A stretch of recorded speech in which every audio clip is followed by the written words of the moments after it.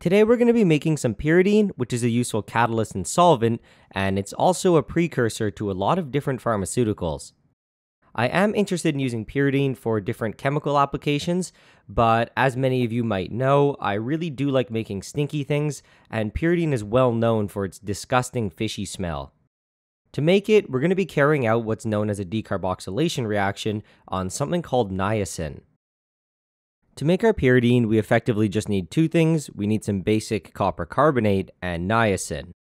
Both the basic copper carbonate and the niacin have been obtained from previous videos, but for the run in this video, I have to use store-bought niacin because I used up all of the niacin that I had in test runs. Now for the quantities. In total, I used about 12 grams of the basic copper carbonate and about 50 grams of the niacin. The procedure that I followed is based on a forum post over at Science Madness, and I'll provide a link to this forum post in the description. To start things off, 12 grams of basic copper carbonate was added to a mortar. On top was then poured in about 50 grams of niacin. Using a pestle, I then attempted to mix the two powders, but it seemed like the niacin was still a little bit wet and mixing was pretty much impossible. For this reaction, it's extremely important that we have a very intimate mixture of the two powders, and this just really is not going to cut it. To get things mixed really thoroughly, I ended up just using my coffee grinder. After just running the coffee grinder for a few seconds, I dump out the powder and it looks like we have a very nice uniform mixture. This mixture of niacin and basic copper carbonate was then transferred to a 250 milliliter round bottom flask. You can see it was a little bit sloppy and some of the powder splashed over the side of the funnel, but let's just pretend that never happened. There was a little bit more powder left on the paper, and this was added as well, and then the funnel was removed. The next step to do is to set up a distillation that looks like this. Below the round bottom flask is our heating mantle, which is going to be supplying the heat, and we have our cold water condenser to condense any pyridine vapors that come off.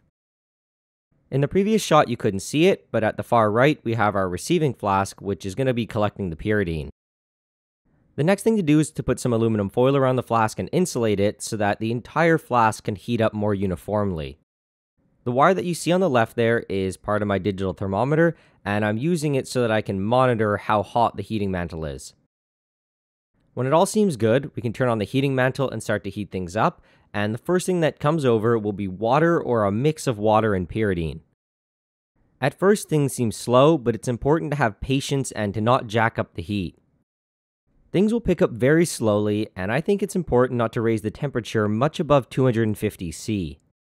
So clearly at this point vapors are coming off, but if we move the aluminum foil to the side, we can see that there isn't much happening inside the flask. At this point, though, now that vapors are being produced, unless you're working in a fume hood, you're going to start smelling the disgusting smell of pyridine. Not only does pyridine smell pretty bad, but it's also quite toxic, so if you're going to be in an environment where your ventilation isn't good enough and you're smelling it, I think using a respirator is mandatory. Eventually, the rate will pick up a little bit, and some things will start to be collected. The initial stuff that comes over is going to be yellow, and just as a warning, this entire distillation is going to be a very, very slow process.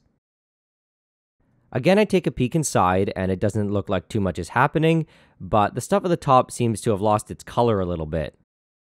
When things start to get too hot, we'll start generating these white vapors, and this should be an indication to turn down the heat a little bit. The yellow color doesn't last too long, and eventually the distillate that we get appears to be pretty crystal clear. In this same shot, you'll notice that there's some white vapor coming out of the vacuum adapter, and for this reason, it's highly recommended to do this in a well ventilated area. This distillation takes quite a while, but for the most part, it's on autopilot. We just have to monitor the temperature and make sure that we're not burning or sublimating away our niacin, but we also want to have a good rate of distillation. Anyway, right now I think it's a good time to quickly address what's happening in this reaction. In very simple terms, this reaction is known as a decarboxylation reaction, and we're converting niacin to pyridine.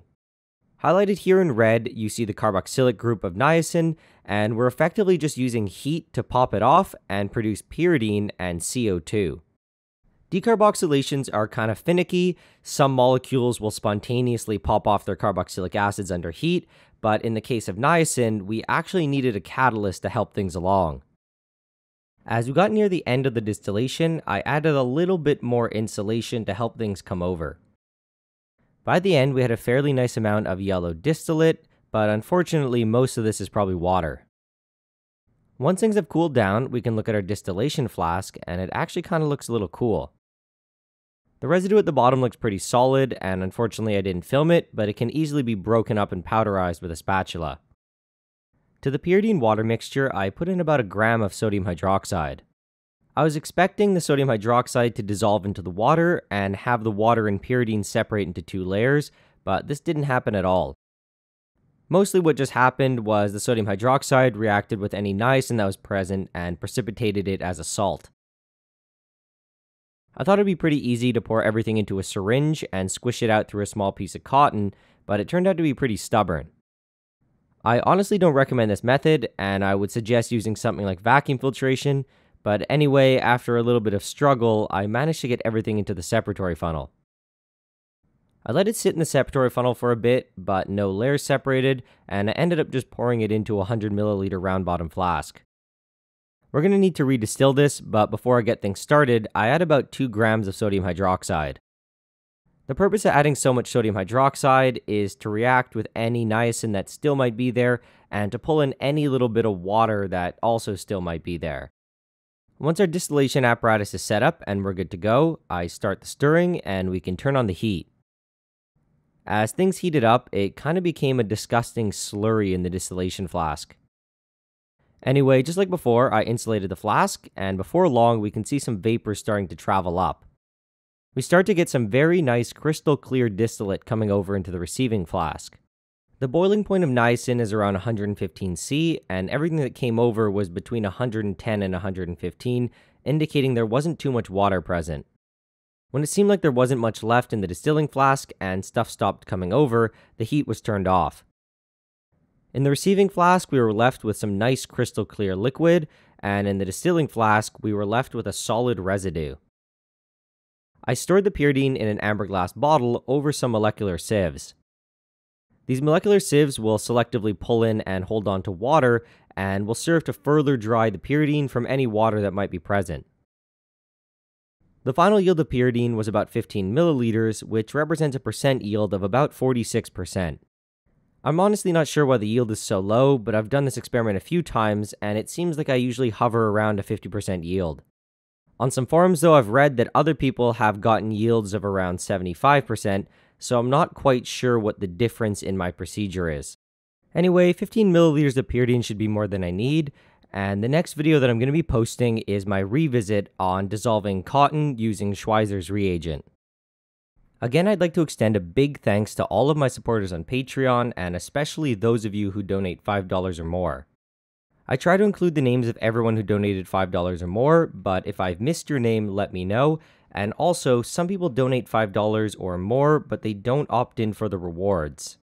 For those of you who did this, I wasn't really sure if you wanted your name there, so I didn't include you, but if you actually do, just let me know and I'll add you on the next one.